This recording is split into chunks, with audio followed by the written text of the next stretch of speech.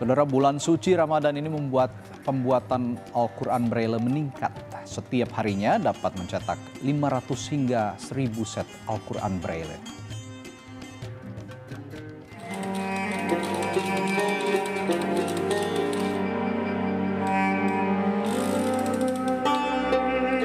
Inilah suasana di percetakan Al-Quran Braille di Sentra Wiataguna, Jalan Pajajaran, Kota Bandung.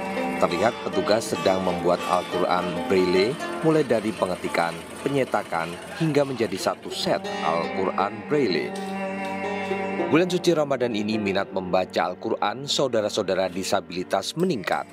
Percetakan tersebut dapat memproduksi 500 lebih Al-Quran Braille setiap harinya. Produksi Al-Quran dengan huruf Braille disalurkan ke seluruh Indonesia untuk penyandang tunanetra.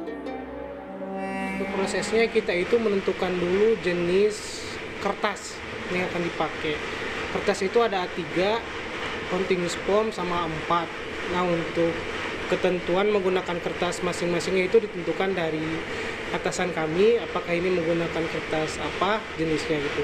Yang kedua dari jenis materinya. Terus kemudian ada proses pengalih huruf namanya. Dari buku awas kita diketik ke komputer dari komputer kita bikin masternya setelah master dibikin baru kita melakukan editing ke para tuna netra di sini sebagai editor.